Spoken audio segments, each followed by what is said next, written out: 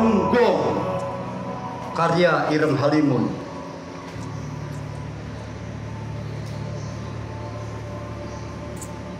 Saat gong dipukul menggaung suara yang menyentuh ke gendang kuping banyak orang. Sebagai tanda dimulainya suatu gerakan atau berakhirnya suatu perjalanan.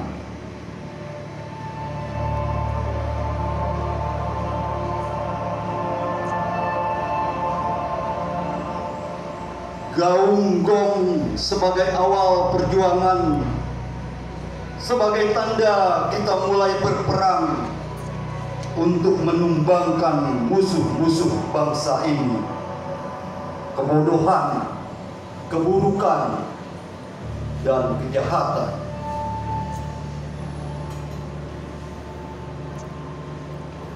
Bagi kita para peseni, tidak menggunakan senjata tajam atau senjata api. Tetapi senjata kita berupa peralatan seni yang memiliki kekuatan chi hasil dari kontemplasi dan nurani nan suci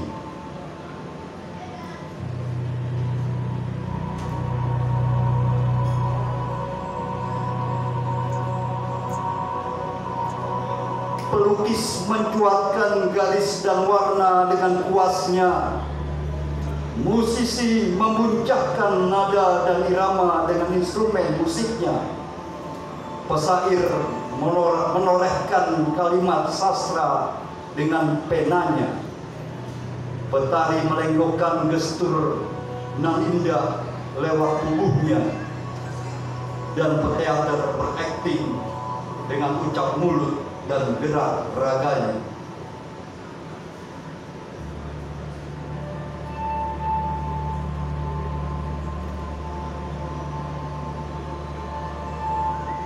Sucikan dahulu senjata kita dalam menciptakan mahakarya.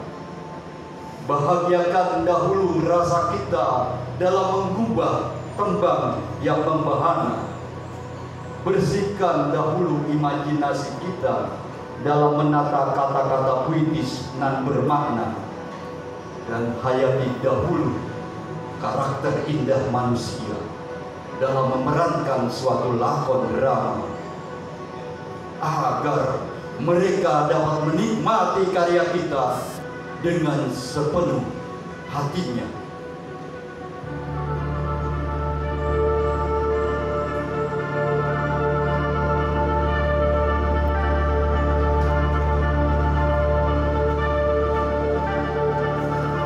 gaung-gaung lainnya sebagai akhir dari perjalanan dan kerjasama.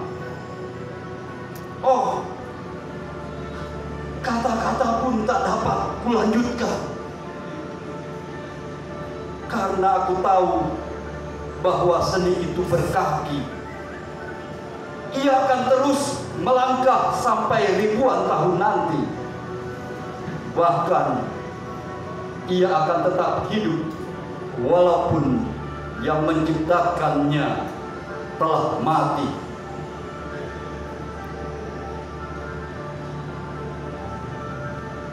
Ars longa vita brevis. Gong telah berbunyi. Tiada kata berhenti dalam seni. Marilah berkarya sebelum kita mati.